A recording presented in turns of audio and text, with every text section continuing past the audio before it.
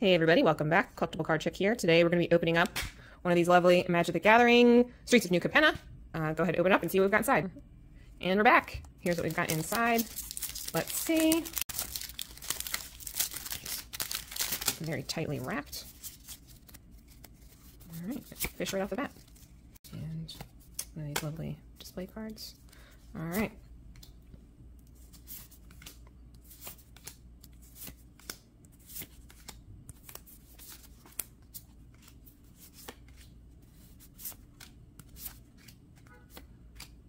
All right. Thanks everybody for tuning in. Be sure to rate, review, subscribe, and more will be coming your way.